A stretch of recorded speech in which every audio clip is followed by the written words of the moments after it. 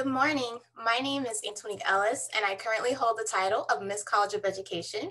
I, along with Stephen Moore, Mr. College of Education, will serve as the host for today's Apple Society induction ceremony. Welcome to the College of Education's Spring 2021 Apple Society induction ceremony.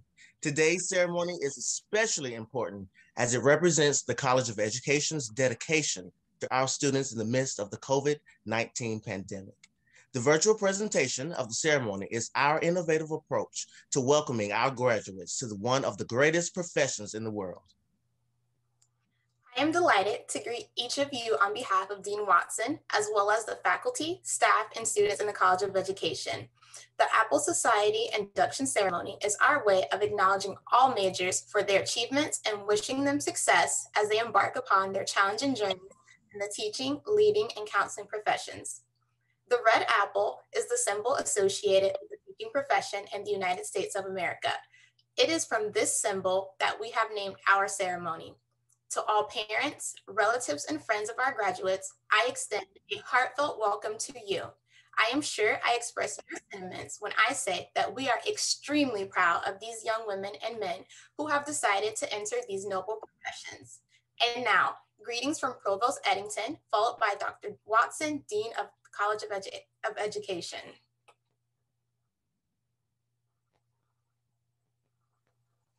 Hello, class of 2021 College of Education graduates. I am Maurice Eddington, Provost and Vice President for Academic Affairs, and I am pleased to celebrate your success as you participate in the College of Education's apple pinning ceremony. I want to thank Dean Watson and her team for inviting me to share this great achievement with you. I know your journey to this point has not been without some challenges, and I appreciate your commitment and the sacrifices you have made to achieve your goals. We all know that every society is built on education, and as we continue to navigate this lingering pandemic, we must also continue to uplift those who have been called to serve as educators.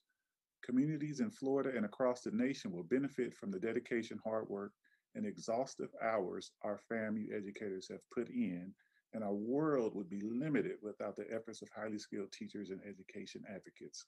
Your work is indeed invaluable. FAMU's illustrious alumna, Althea Gibson, is credited as saying, no matter what accomplishment you achieve, someone helped you. Thank you for allowing FAMU to help you achieve your goals. I urge you to pay it forward and be the bridge that allows someone else to realize their dreams. On behalf of President Larry Robinson and the FAMU Board of Trustees, I congratulate you, applaud your efforts, and I am proud you are joining the field of education. Congratulations.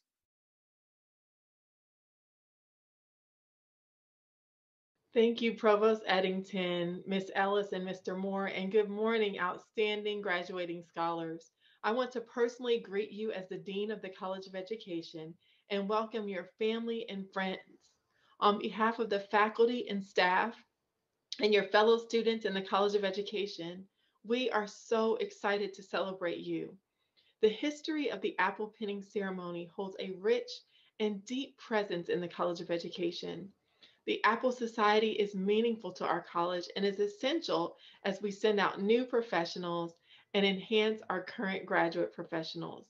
The inaugural apple pinning ceremony was created by members of our own faculty in secondary education technology foundations and educational leadership, as well as our elementary education departments. The first ceremony was held under the breezeway of the College of Education in the Gore Educational Complex between the elevator and Building C. And we celebrated, and I wish I was there at that time, but I can imagine that it was wonderful. This will probably be one of the final virtual ceremonies that we have in the College of Education. So even if we are in a virtual space, we celebrate you and you can look forward to later today uh, being in person at the commencement. Additionally, you can look forward to um, having it live stream for your family and friends that cannot make it. When we had the first ceremony, we migrated to the Winterwood Theater for two years. And then finally, um, and, and probably more recently, before we brought it to the College of Education, we held it at Bethel AME Church until we returned into the grand ballroom and um, then now in the virtual space. To our esteemed members of the faculty, our amazing supportive staff, and those who are a part of this rich legacy, I want to thank you for being here today. Scholars, I want you to take the time to thank your parents, grandparents, uncles, aunts, spouses, significant others, and friends who have encouraged you along the way. You are here because of your fortitude and their support. Miss Abney Wisdom, thank you for being our speaker today and representing the College of Education, not only as a doctoral student, you are showing our undergraduate majors what it is to be lifelong learner and an educational leader. We are so proud that you will share your legacy of leadership and you will share your outlook on being an educational uh, leader of excellence. I want to thank you all again for being here today, and I turn it back over to Ms. Ellis. Thank you. We will now have a musical selection by Mr. Darian Bolden Jr.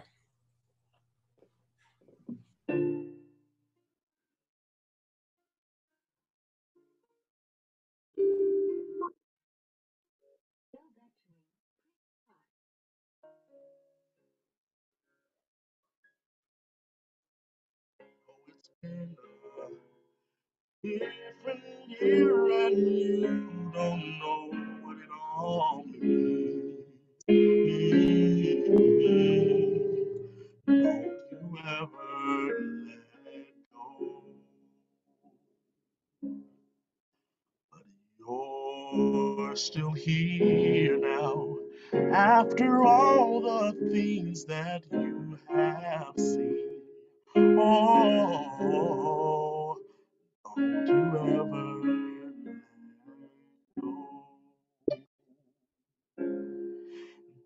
Don't let go. Don't let go. Oh, don't you ever go.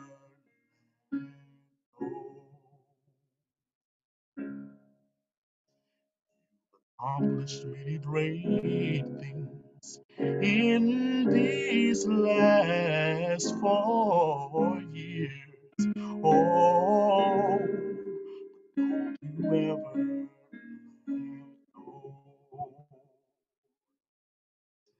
There's nothing wrong with crying. It's okay to let out all of your tears. Oh,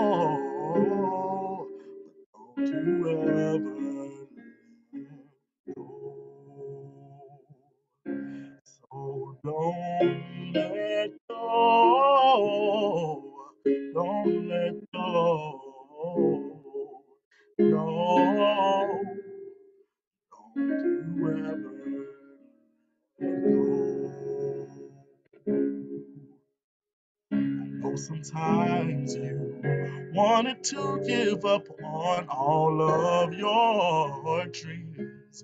Oh, don't you ever go. We're so proud of you. Always know that we are on your team. Oh, don't you ever go.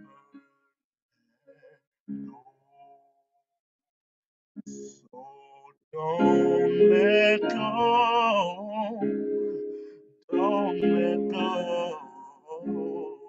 No.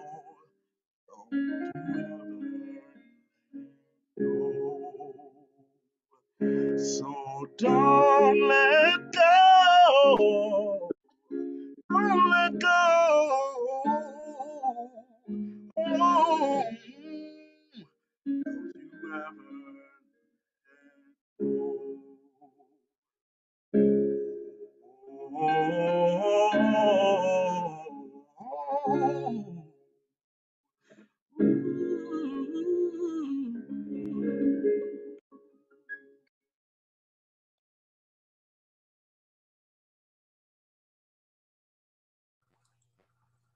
Thank you for that beautiful selection. I will now introduce our speaker. Ms. Shakira Abney Wisdom a New Jersey native, uses her 10 years of experience as an instructor, coach, leader in K-12 higher education settings, and public servant for local and state government agencies to illuminate the need for equity and advocacy. Her passion for innovative collaboration is grounded in the belief that we can accomplish more and go further together. Ms. Shakira Abney Wisdom is a Doctor of Philosophy candidate in the Educational Leadership Program at Florida Agricultural and Mechanical University. She holds a Master of Arts degree in Curriculum and Instruction with a concentration in urban education through the Denver Teacher Residency Program and earned a certificate in educational leadership and policy studies from the Ritchie Program for School Leaders.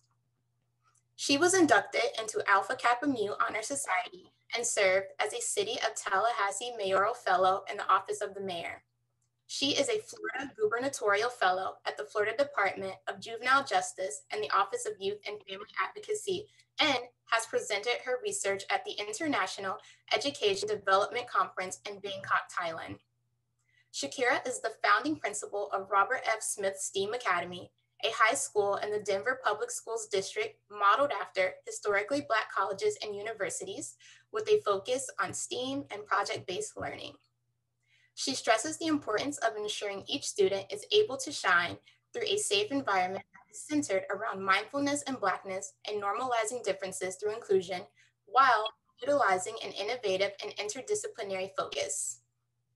Ms. Shakira recognizes her mom as her most outstanding role model. She says, my mom taught me to do all things in excellence. She lives by example, modeling the importance of trusting yourself and holding firmly to what you believe. Shakira is honored every day to help and pour knowledge into students who look like her.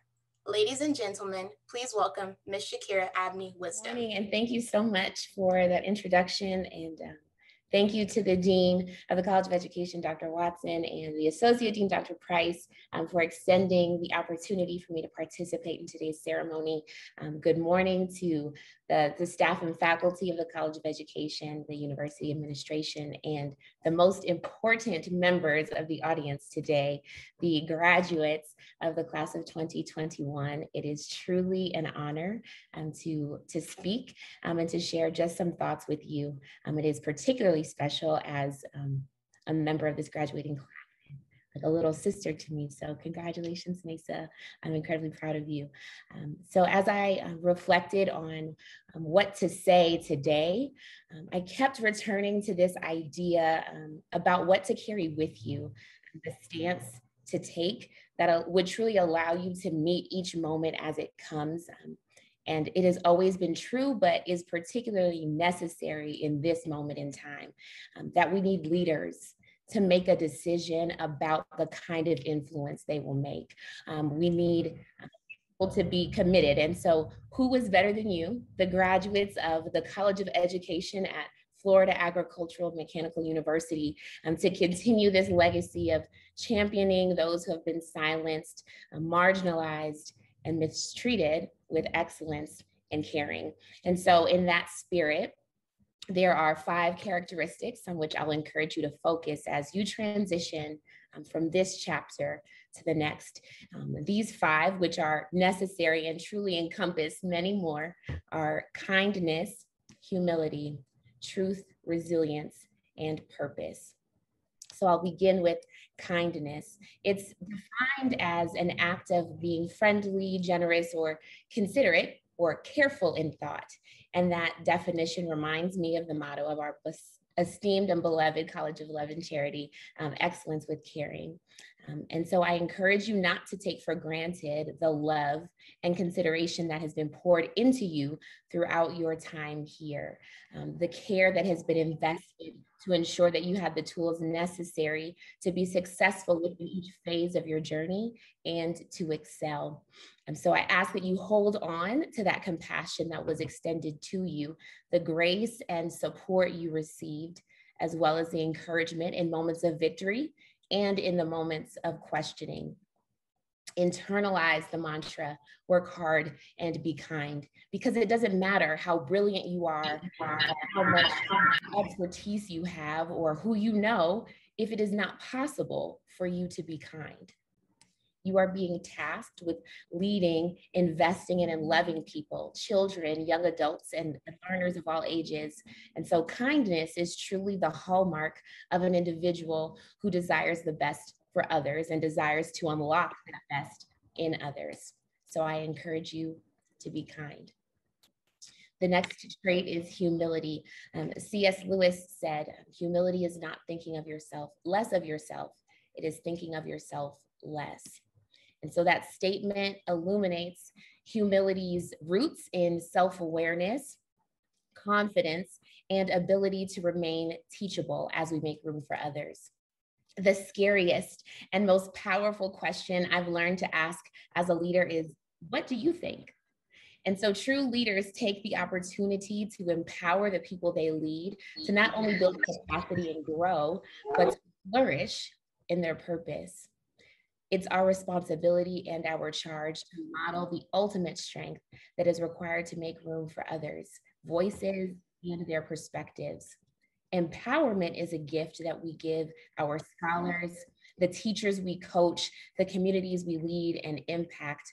And it is a gift that requires us to be aware and accepting of our strengths, as well as the areas where we can develop. So empowerment requires a willingness to not always be in front when doing the work, rather a passion to be deeply involved in the work. Humility is a trait that recognizes we need other people to have a lasting impact and to build a legacy. And in a field where interaction and connection with others is the exclusive way in which we have impact, the benefits of humility far outweigh the cost. I encourage you to be humble. Next is truth. One of my favorite quotes is um, speak the truth, even if your voice shakes. And there is a simultaneous vulnerability and strength in speaking the truth. There is freedom and wisdom in truth. And our ability to see and articulate the way things truly are, not how we want them to be, is imperative with the shifts and changes being enacted into law at the state level, literally statutes that attempt to and have the power to erase the voice and impact of citizens within a moment where Black, Latinx, and Indigenous bodies and lives are being devalued, it becomes a responsibility to speak the truth in the spaces you serve, you teach, and you build community.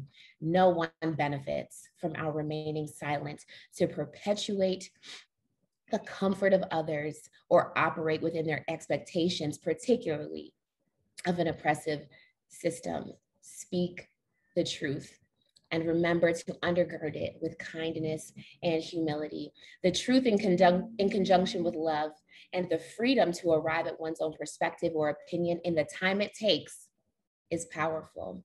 Think of the individuals who have done that for you or how it would feel if someone had given you the space to grapple with arriving at your own conclusions without force or shame. It is important to remember the purpose of sharing truth with others. It is not to convince or have a stronger argument. We speak the truth to establish trust. The goal is not to win people over. The point is to deepen understanding of ourselves, of the people around us. Be clear about what you believe and speak it truthfully. The fourth is resilience. Nelson Mandela said, Do not judge me by my success, judge me by how many times I fell down and got back up again. Life will bring many situations that are confusing, painful, or even unexpected the enticing option is to sulk and complain, to engage others in conversation that will justify our entitlement and frustration. The inverse may also be true. After experiencing something particularly exciting, we may want to revel in that moment and not leave it. But instead, what we must do is feel our grief, our joy, our disappointment, our anger, our excitement, or even sadness and in the truth of how we feel. We must find community that will remind us to be resilient. Trusted individuals who will encourage us to go beyond what we see and experience in the here and now as we journey to there, the places we were destined to be. You are being sent from the College of Education to challenge and teach, but also to restore people and communities. That will require a commitment to being resilient, self aware, and emotionally healthy so you can meet each moment you face. In our resilience is a balance of malleability and power, as our strength lies in our capacity to adapt to our environment and changes, even as we ourselves grow and change. No matter what life may bring, I encourage you to be resilient. The final element is purpose. What is the thing that you do in every space you enter without even trying? When you look back over your life or even your time at FAMU, what are the patterns that you can identify? What would you do if no one paid you? And what brings joy to your soul in a way you can't quite articulate? What influence will you have in the places and spaces you serve? My hope today for each graduate is that your impact would be far beyond what you could ever see in your lifetime. The world needs you and benefits when you are certain about what you contribute, how you make a space better. Maybe it's one student you diligently work with before and after school who goes on to create an invention that radically changes the way the world functions. They credit your investment as what empowered them to dream, to believe in themselves. Perhaps there's an area you have researched and decide to submit an article or proposal regarding a phenomenon with a perspective that addresses a gap in the literature. Your writing and research may serve as the catalyst for an innovation within the field from another scholar. Or you may decide to run a series of sports camps and offer high level athletic training and personal development. A participant might internalize every word you share and go on to become a professional athlete and use their platform to influence others as they were influenced by you. It may even be that the small group you facilitate creates a safe space for youth and adolescents to process their emotions and trauma they have experienced in a healthy way. They go on to create similar spaces and share the knowledge you invested in them with others. So while you may not have been an inventor or a professional athlete or renowned author, speaker, or researcher, your purpose had impact greater than you could ever imagine, greater than you could ever see, greater than if you were to do it alone. Be willing to extend your gifts generously. Be kind. Be ready to contribute your strengths and empower others to lead. Be humble. Be honest at all times, particularly when it is necessary. Speak the truth be aware and determined to grow in the face of obstacles. Be resilient. Be unapologetically authentic to who you were created to be. Fulfill your purpose. Every space and place you enter will benefit when you bring those five things with you. We need more change agents who will be unapologetically authentic with a sound confidence in who they are. And I believe wholeheartedly the change agents we need are being honored in today's ceremony. I'm excited to see the impact that will be made through you and because of you. Congratulations, Rattlers. Ms. Abney Wisdom, thank you so much for that inspiring message that you shared with us today. The College of Education would like to express our appreciation to you for your encouraging words. At this time, the educator's oath and pinning will be administered by Dr. Ball Thomas. Will all teacher education majors who are being inducted in the Apple Society at Florida Agricultural and Mechanical University, please repeat after me. I state your name. I, Jasmine Richardson. Commit oh. myself to the profession of teaching. Commit myself to the profession, profession of teaching. Teaching. I promise that everything I do I I promise promise that That everything that I do will honor and respect this noble profession. Will Will honor and respect this noble noble profession. profession. I agree to treat each student I I agree. agree. To Agree teach to Each treat Student. student with education I am charged, whose education I am charged, Whose education I am Education I am charged. charged. with fairness, with With with fairness, fairness, Fairness, passion and compassion. passion, Passion and and compassion. compassion. I will work to support. I will work work to to support the high ideals of the profession, the high ideals ideals of the profession, and I shall fulfill and I shall I fulfill shall fulfill the code of ethical conduct for educators the code of Code of ethical Ethical conduct conduct of educators. educators. in all I say and do. in And all all I I say and do. say and do. I shall be a credit to this great profession I shall I be a shall be a credit credit to to this this great great profession to which I am joining. to which To I am which I am joining. Thank you. Now, will candidates graduating from counseling education, educational leadership, health, physio- physical education and fitness, sports management and curriculum and instruction, please repeat after me. I state your name, I, Jamila, pledge to embody the ideals. Pledge to to embody the the ideals. ideas of the College of Education's curriculum framework. Of the of College the of College of Education's Education's curriculum framework curriculum framework. In the areas of professional expertise, in in the the area of professional expertise, critical inquiry, Critical inquiry, cultural competence, cultural competence, and reflective practice. and and reflective practice. reflective practice. I shall be a credit to this college I shall be a credit to this college College. in all I do and say. in and all I do or say. Thank you. Faculty, please repeat after me. As members of the teaching profession, As members of the teaching profession, we accept these new members. We accept these new members.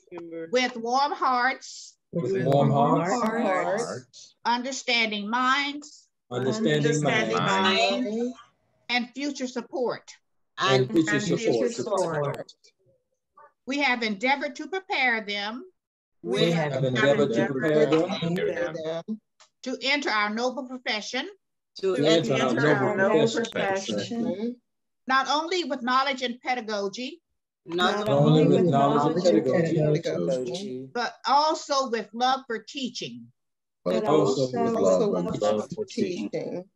We are delighted to welcome you.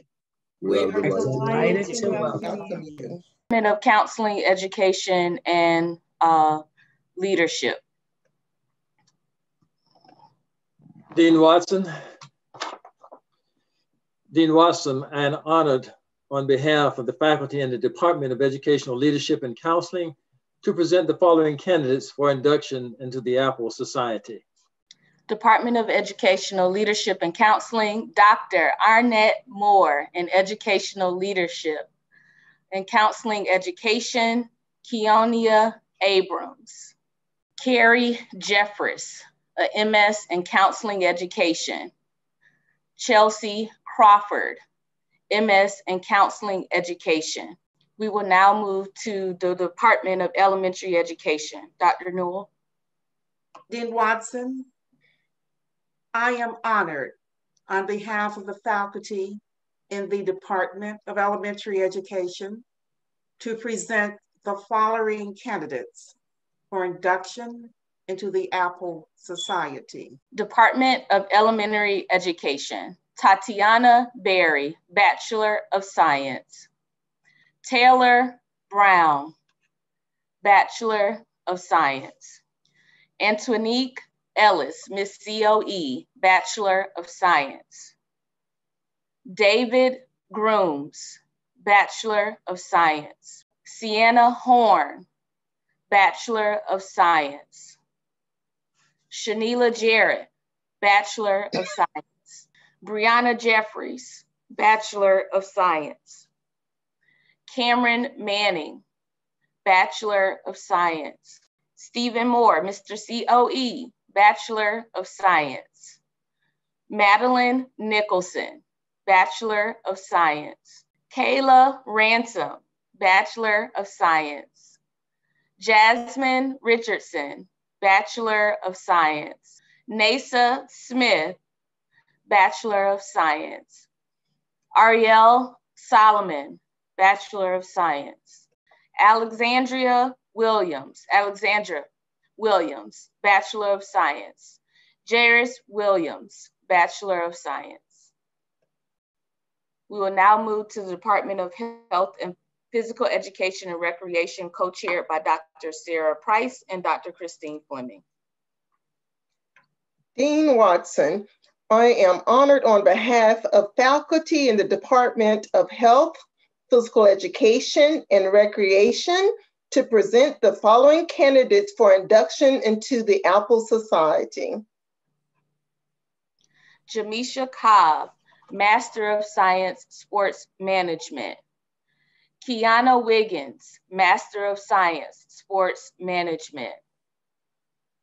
Bachelor of Science in Health, Physical Education, and Fitness, Markeen Bell, Bachelor of Science. Simona Campbell, Bachelor of Science. Delzume Prince, Bachelor of Science. Jessa Long, Bachelor of Science. Marquise Wallace, Bachelor of Science.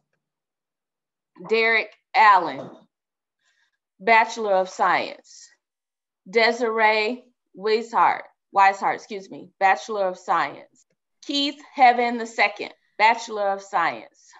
Jamila Lake, Bachelor of Science. We'll now move to Secondary Education, Technology, Education, and Foundations, chaired by Dr. Pitts Bannister.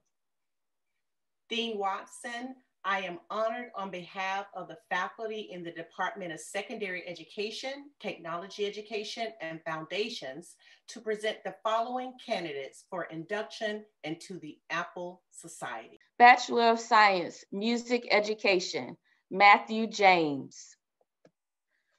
Lindinell Risku, Bachelor of Science.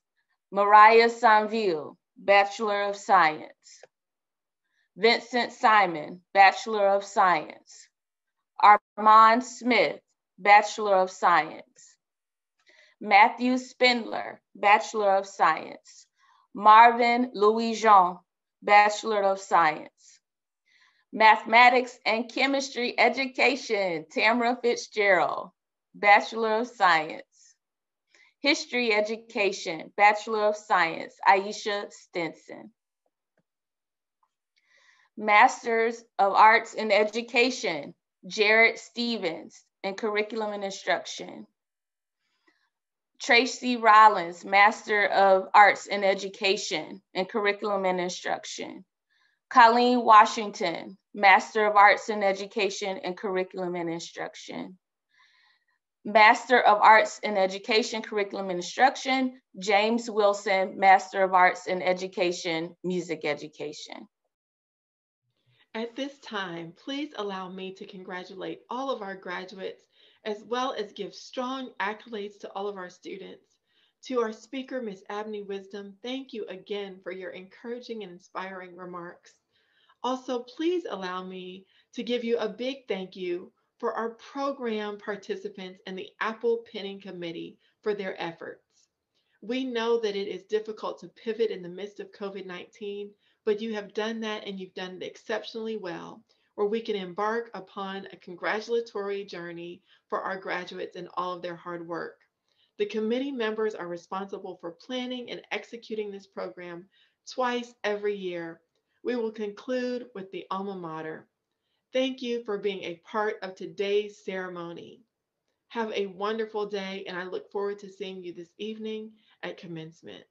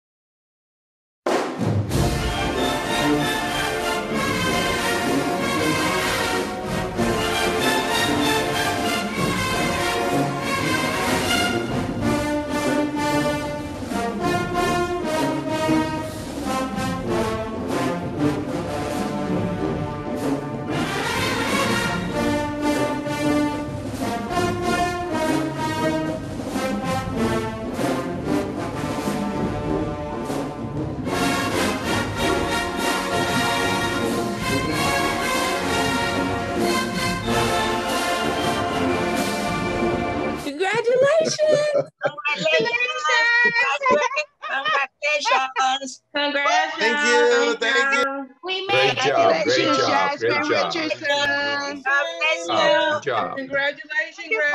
Congratulations. Congratulations, Jasmine. Love you, Lord. Congratulations, Congratulations. Congratulations. Yes. Proud of you. Patty P. Love you, J Boo. Bye. Bye-bye. Dr. OKK. OKK. Hey, kindergartners. Hello. Hello, dear. Hello, congratulations. Thank you, Dr. OKK. Hey, That was my and I love you, love you, love you. Love you more. Thank you, dear. Jay, Jay, congratulations. Congratulations, Mr. Williams. Congratulations. Thank you. I love you. Congratulations, Stephen. Hello. Hi, Stephen. Hey. How your class? Congratulations, Jasmine. Thank you. Mr. Havens, Congratulations, babe. Congrats, Jazz, Jay, All of my Anthony, students and Stephen. teachers. Thank you. Hey, second grade. Thank you. Hey, second Love you. Y'all did it. You